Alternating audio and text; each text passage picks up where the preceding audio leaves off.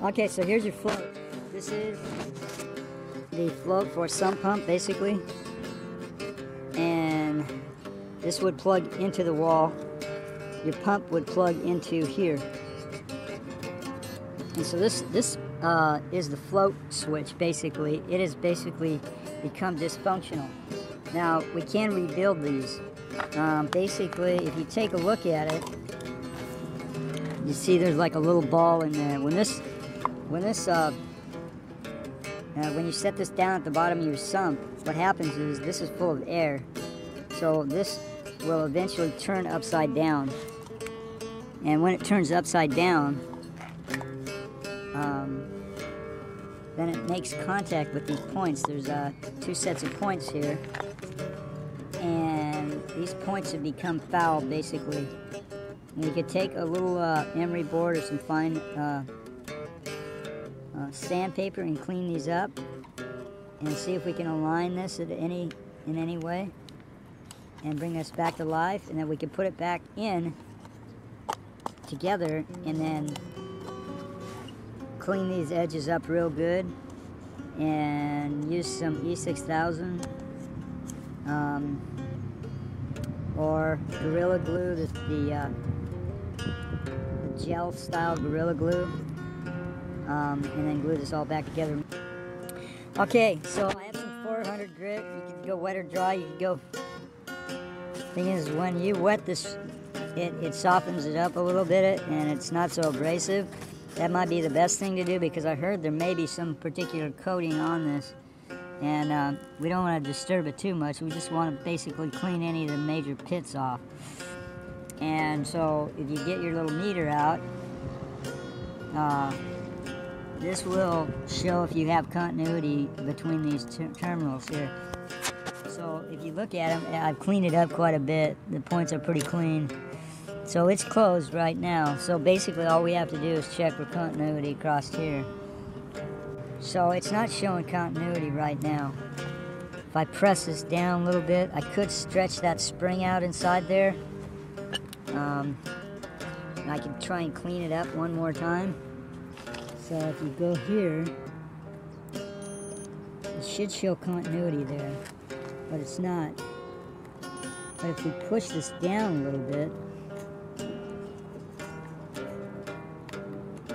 no, it's not. It's it's not working very well.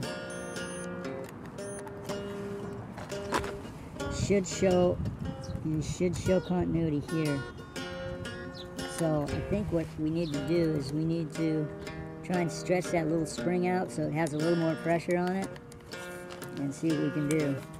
This little spring in here, maybe. Stretch it out a little bit. And or clean these up just a little bit more. Uh, make sure they're not loose on the whatever the frame. Okay, here's that spring. That spring is, what, roughly, not quite the size of that prong there and we're gonna stretch it out. I'm just gonna take and stretch it apart with my fingers and then put it back in there. There's just just that one little, those two little tits in there that uh, hold it in place. You can see I've got them pretty clean, but they don't uh, they don't quite make good contact unless I push it down by hand. So we're gonna stretch the little spring out and uh, see if I can lose this. Okay, it's working now. So this whole black lever thing and the spring, that spring there, I stretched it out um, as long as this little thing right here and stuffed it back in there. It's got more pressure on it now.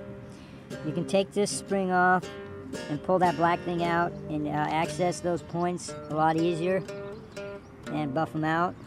So I got continu continuity on it now. And so all I need to do is basically clean it up and glue it back together. Let's see if I can do this.